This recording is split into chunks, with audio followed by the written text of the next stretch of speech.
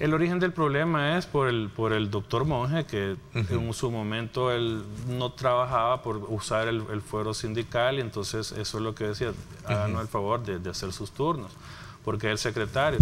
Y ojo, hay dos sindicatos en, en Fosalud, el mayoritario, que es, creo que es el 95%, y el de él, que es el, minoritario. Entonces, con el, sindicato mayoritario es con el que tengo la mayor relación, en el cual nosotros nos reunimos con el contrato colectivo, nosotros nos reunimos cuando se hizo el incremento salarial que en 18 años nunca se les había dado. Entonces tenemos una comunión bastante fuerte eh, con ellos. Y con el minoritario era eso, que yo siempre miraba que él ocupaba los, los demás. Pero este con los sindicatos, ¿y en el caso de las estas eh, personal médico, las enfermeras embarazadas?